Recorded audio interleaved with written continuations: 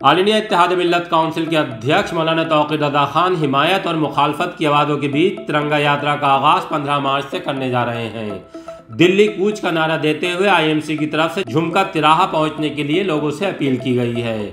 दिन भर उसे लेकर तैयारियाँ भी चलती रहीं। मौलाना के दरगाह हज़रत स्थित आवास पर एक बैठक भी की गई।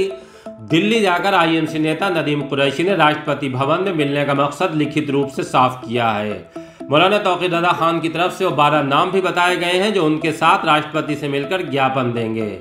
मौलाना की इस तिरंगा यात्रा की कुछ संगठनों ने हिमायत तो विश्व हिंदू परिषद की नेता साध्वी प्राची ने बरेली आकर मुखालफत की थी। मौलाना पर मुरादाबाद के नागफनी थाने में तिरंगा यात्रा से पहले भड़काने और उकसाने के इल्ज़ाम का मुकदमा भी दर्ज हो चुका है। आईएमसी के मीडिया प्रभारी मुनीर इदरीसी ने बताया कि तिरंगा यात्रा में शामिल होने वाले लोगों से अपील की गई है कि किसी तरह के नारे नहीं लगाएँगे, कोई तख्ती हाथ में लेकर नहीं चलेगा। रास्ते में दूर शरीफ पढ़ते हुए जाएँगे। दूसरी तरफ़ प्रशासन की तरफ़ से तिरंगा यात्रा को लेकर किसी तरह की कोई प्रतिक्रिया अभी सामने नहीं आई है। अब कल क्या होगा, उसके लिए इंतज़ार करना होगा।